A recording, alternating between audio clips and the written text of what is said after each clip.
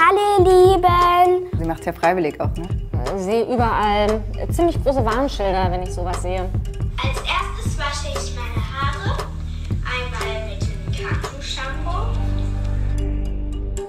meisten Influencer, denen ich folge, verdienen mit ihrem Job richtig gutes Geld.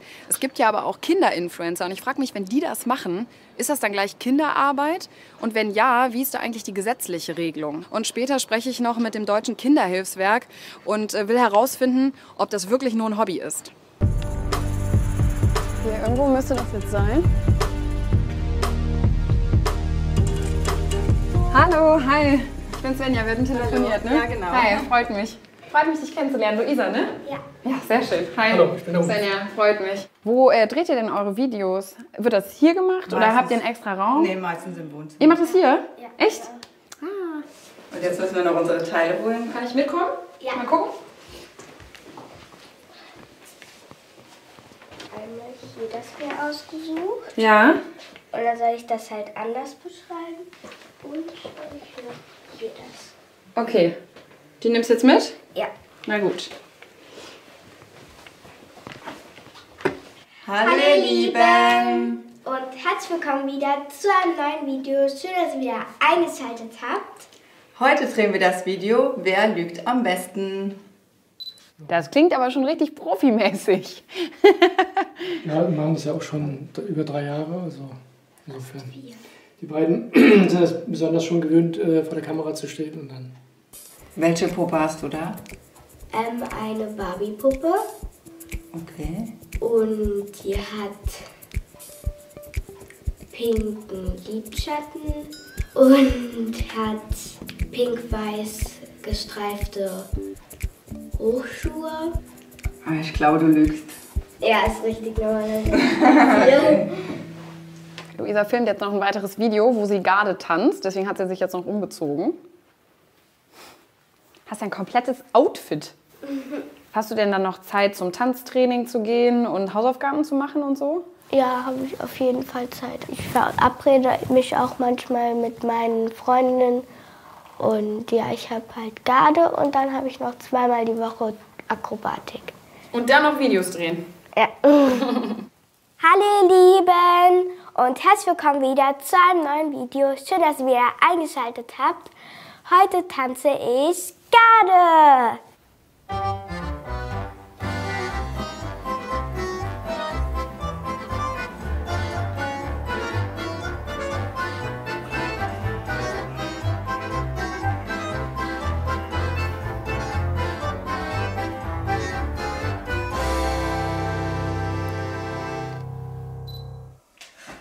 Vollprofi.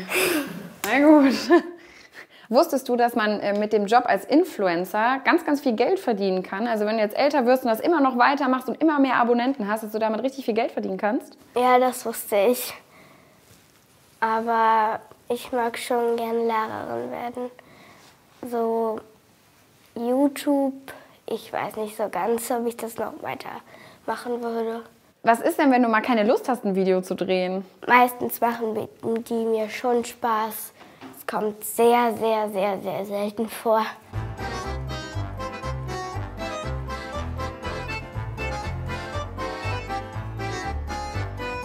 So, das war's mit dem Video. Ich hoffe, es hat euch gefallen.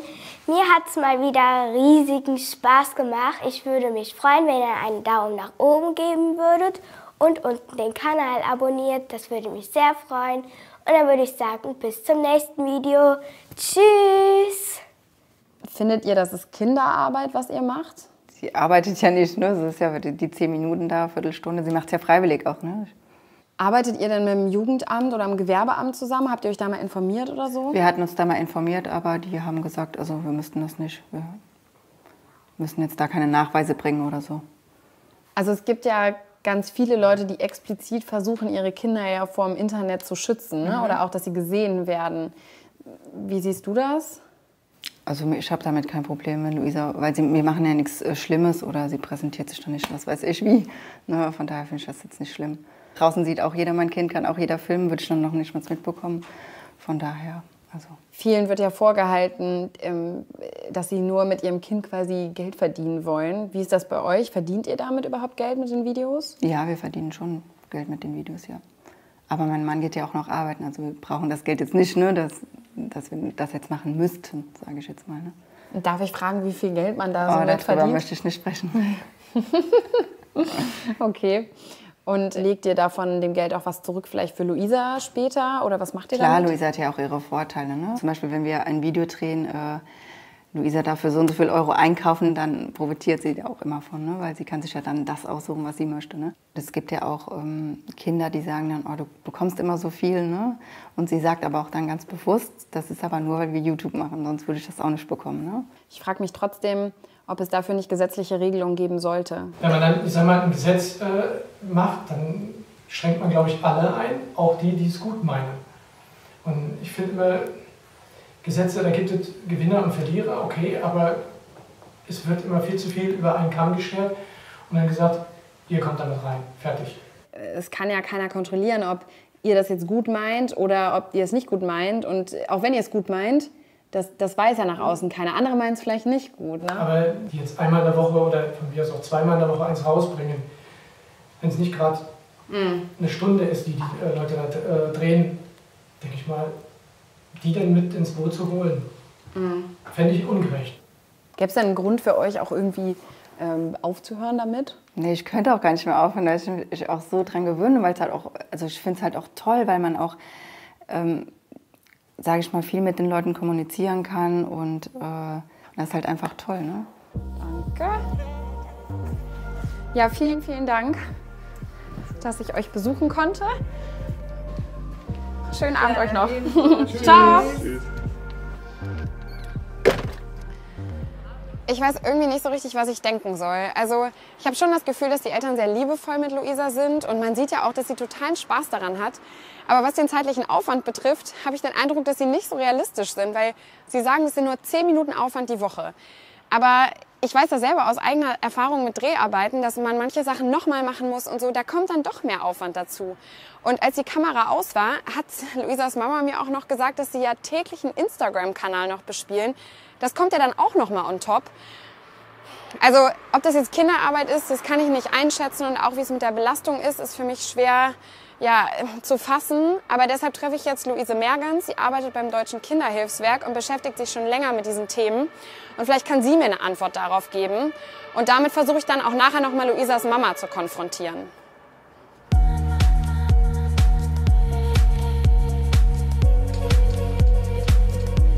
Hi. Hi. Luise Mergens? Richtig. Hi, ich bin Svenja. Hi Svenja. Freut mich. Willkommen. Danke. Ja, wir waren ja ähm, gestern bei Luisas Familienkanal drehen. Ja, Das war sehr spannend. das glaube ich. Also ich war danach so ein bisschen ratlos oder bin es immer noch. Ja. Aber ähm, ich zeige dir jetzt noch mal kurz was davon. Der wird betrieben von der Mama und der Tochter.